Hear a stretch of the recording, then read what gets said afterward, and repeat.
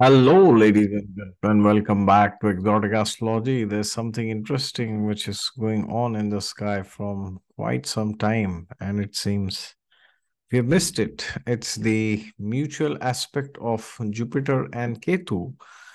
Now, the question is still when is this mutual aspect there? Well, of course, uh, Jupiter is in Aries for quite some time, and but the thing is, Rahu Ketu will change their signs, okay? So depending on which Rahu you Ketu you take, you take uh, mean nodes or you take true nodes. Uh, the date of the transit will vary, but roughly you could say till end of October mm, around uh, you can expect that this uh, transit is there. so this mutual aspect is there. You could consider uh, so mid of October to mid of November, so end of October roughly. So which means for yeah another two months, this transit is there, and this is a very interesting transit because Jupiter is not just aspecting Ketu here; he's conjunct Rahu, and by being conjunct with Rahu, he's aspecting uh, Ketu, of course, because we know Jupiter has three aspects, you know, five and nine, also along with seven. So now, if you see the current uh, transit chart today, Moon is in Rohini Nakshatra uh, in Taurus. Then Venus has gone direct in Cancer. And then Sun and Mercury, uh, Mercury is retrograde till 15. They are in Leo.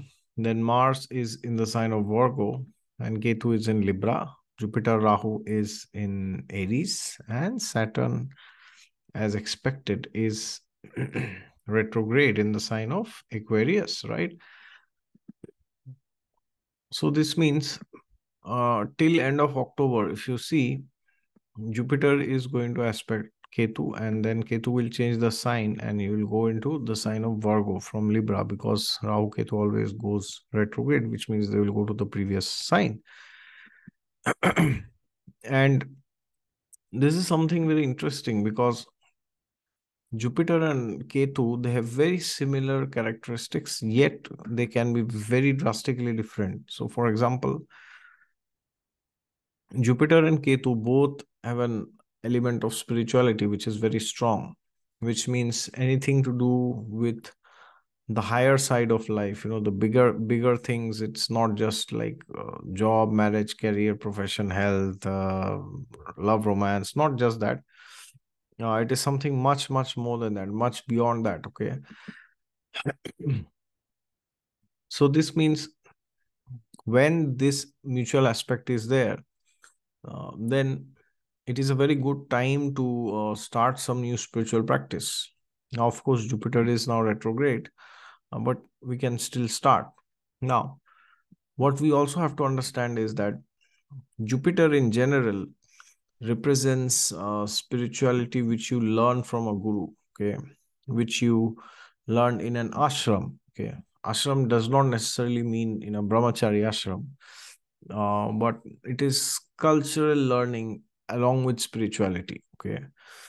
Which means it represents certain uh, how do i say the standard pathways to get spiritual knowledge which is uh, descending from god himself right? From god and then from maharishi vyas and then through the guru shishya parampara it has come to various acharyas in today's context you know in the 21st century but what does Ketu represent? Ketu represents spirituality also, but uh, may not be in a very traditional sense. Okay, so Ketu can represent things like uh, you are in a foreign land and you go and meet some guru there who has also learned from some authorized parampara, but uh, is very unusual. You know, like uh, the religion is different, the caste is different, the yeah the skin color everything is different you know because rahu ketu represents things uh, which are beyond beyond like the standard things standard boundaries of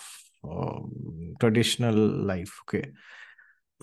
So now what does this mean? Jupiter is aspecting ketu. What, does this mean you know? So this means uh, Jupiter is trying to influence Ketu, which means there is some traditional element which is coming into the non-traditional circles okay so because of this uh, you you will see or you would have already seen because this transit is there since Jupiter had entered Aries. Uh, I don't know about you, but I have seen in general, you know, people have started to realize this uh, idea of SBNR, spiritual but not religious, that this does not work because uh, why why did people uh, come up with this idea you know like sbnr spiritual but not religious? Because um yeah unfortunately in the last centuries there has been a lot of violence and discrimination which has gone uh, in the name of religion. Or whichever religion you take you know you you can keep weighing the scales. Uh, oh this religion has done less than that you know but primarily it, it has happened you know violence and discrimination so because of that what has happened is uh, people have started to give up on religion and they claim that they have become spiritual without getting into religious things without getting into religious texts uh, by staying out of religious communities. But that was there like 20 25 years back. But now as people are realizing you know that uh, even to become spiritual you need to take shelter of somebody who actually knows the religious text you know. Otherwise um, you you will get half-hearted answers okay? So there's this thing that uh, when there is a problem in your uh, limb of your body you know you you you try to reform it you try to you know treat it you just don't cut it you know. That is like the extreme step.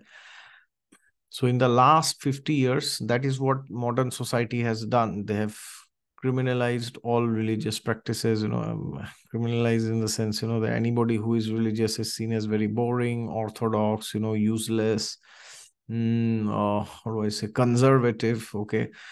But now people are realizing that um although there has been a lot of problems with religions uh, but still there are so many good things which we can take you know? So you ignore the bad and you take the good things and when you do that then you actually attain very high fulfillment you know. A lot of people are in the west i see especially they are taking to hinduism you know sanatan dharma as it, it has always been. You know wherever i go i see people there i mean a lot of lord krishna's devotees and uh, it's janmashtami also uh, today or tomorrow depending on when you are where you are and when you are seeing this a lot of devotees of Lord Shiva are coming up, you know, in the West, you know, like Shakti. There are devotees of Lord Ram, they're also coming up. A lot of bhajans are coming up, you know, a lot of kirtan is coming up, a lot of yoga is coming up. So a lot of things are going on basically, you know. So people are realizing that we can accept religious uh, texts uh, but in proper consultation with somebody who is knowledgeable and experienced and who himself follows. So this this is happening more and more. I see you know anywhere any anywhere and everywhere i go i see people are talking about you know like they're talking of yoga they're talking of the vedas the upanishads the puranas you know. And yeah about about the vedic texts in general you know because uh, the vedic texts actually uh, represent jupiter you know because not only just the Vedic uh, Vedic texts, you know, like it, it is any any religion which has a, a bona fide source that is represented by Jupiter. So, in the unorthodox circles like Ketu, uh, now Jupiter's influence is very strongly seen. You know, people are returning back to their roots. People are uh, trying to find who they are. People are trying to understand who they are. People are trying to understand who actually what is actually their culture their heritage you know who who they are what's their identity basically? They are trying to find this okay? Because uh, without this you can't uh, actually survive much long you know? It's like you um, yeah you you, uh, you you perish basically because you don't you have no idea of what's your existence what's your blood what's your dna right? So therefore you will see that um, many people they are becoming atheists agnostics also that was the situation when i was like small you know 20 25 30 years back but now i see people people are becoming more and more connected to uh, the Vedic tradition everywhere I go. You know, like I'm in Germany, and whenever I go, whenever somebody knows that I'm from India, they're always asking, you know, about Indian culture, about yoga. They also ask about astrology, numerology, palmistry, like the chakras, the meditation, dhyan, samadhi, bhakti yoga, karma yoga, jnana yoga. They're asking, you know, so uh, this transit has been very important because people are now realizing that we need to get back to our roots okay and that can only happen through somebody who is very much aware of the religious texts otherwise you can keep saying you know i am sbnr sbnr sbnr but at the end to become spiritual you have to take shelter of some religious text because as the Shrimad Bhagavatam says, Dharmam tu sakshat bhagavad pranitam. Dharma is coming directly from God Himself. Okay nobody can define what is dharma only god can define that okay so this is a very good time to read the bhagavad gita the the srimad bhagavatam uh, or the ramayana or the mahabharat so then uh, you will realize what is actually dharma what is your dharma what is what is that you should do what is that you should be aware of what is that you should not do no? dharma adharma all this and you will also know about karma yoga gyan yoga ashtanga yoga bhakti yoga then you will be able to understand yourself more and you will be able to understand what what what are your strengths and how can you capitalize on them and how can you manage your weaknesses okay so therefore it's a very exciting time to be in uh, and therefore if you have not joined any spiritual community nearby you, then please, please, please, my humble request, go and try to join. And I'm sure you will have a great experience. Uh, you still have two months. Of course, it doesn't mean that after this transit is gone, you can just you you you can never do it. It doesn't mean that, but this transit will certainly help you to find a spiritual community. Okay and get more enlightenment and uh, because it is ketu so it is not just superficial knowledge you know it is like knowledge based on mm, uh, very concrete uh, concrete realizations okay? So try to find somebody in, in your city in your town you know who can help you and guide you spiritually okay?